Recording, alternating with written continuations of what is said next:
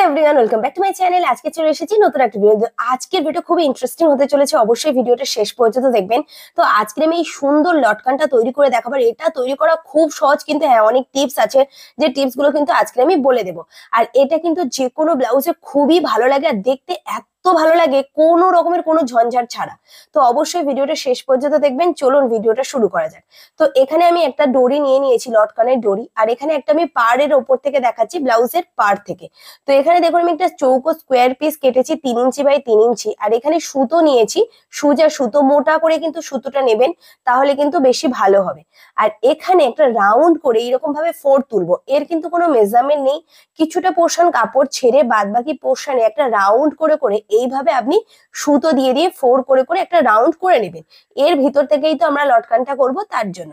ব্যাস, এইভাবে দেখুন আমি সম্পূর্ণ রাউন্ডটা করে নিয়েছি, দেখে বুঝতে পারছেন আর প্রচুর কাপড় কিন্তু বাইরে এক্সট্রা আছে।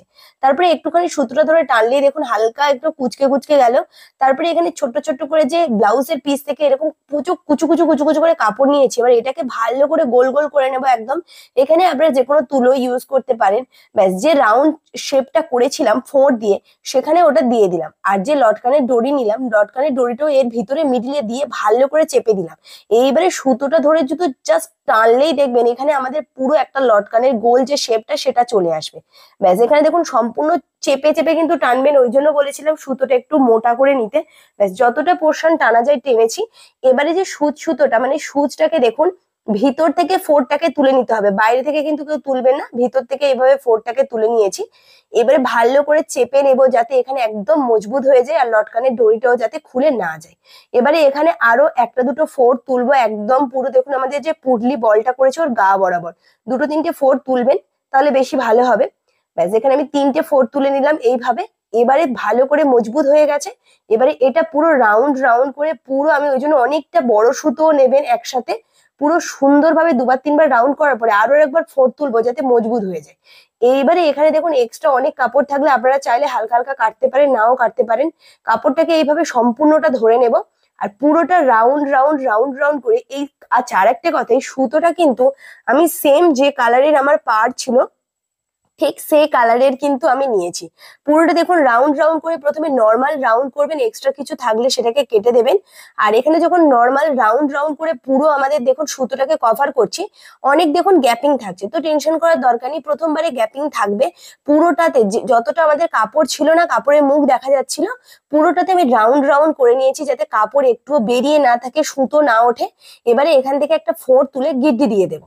এটা হচ্ছে প্রথম স্টেপ এটাকে আপনারা করবেন আর অবশ্যই সুতোটাকে টানার সময় মজবুত করে কিন্তু সুতোটাকে ভালো করে মজবুত করে টানবেন, যাতে ফিনিশিংটা বেশি ভালো আসে। এক্সট্রাটাকে এখানে কেটে নিলাম। দেখুন এই রকমটা এবারে দেখাচ্ছে। তো অনেক জায়গায় দেখুন ফাঁকা ফাঁকা আছে। এটা হওয়াটা স্বাভাবিক। এবারে এই ফাঁকাগুলোকেও কিন্তু আমাদের বন্ধ করতে হবে। এমনি থেকেই কিন্তু দেখতে অনেক সুন্দর লাগছে। দেখুন, এইরকম লটকানগুলো বেশ ভালো লাগে। আবারও আমি একটা সুতো নিয়েছি, আর এখানে গেট কিন্তু সুতোতে আমি দেবো না নিচের দিকে। আর অনেকটা বড় সুতো নেবেন, আর মজবুত সুতো। মানে অনেক কোটা মানে মোটা হয়ে থাকে যেন।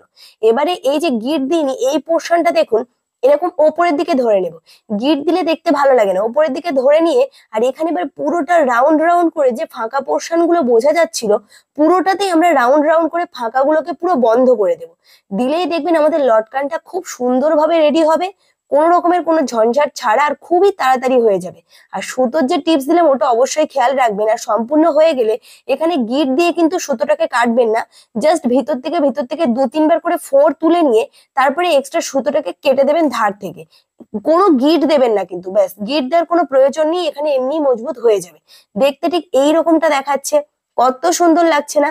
তো আমি এটা ব্লাউজে আমার করেছিলাম। আপনাদেরও একটা দেখিয়ে দিলাম। খুবই সুন্দর, ভালো লাগলে লাইক করবেন চ্যানেলকে সাবস্ক্রাইব করবেন। আজকের জন্য এই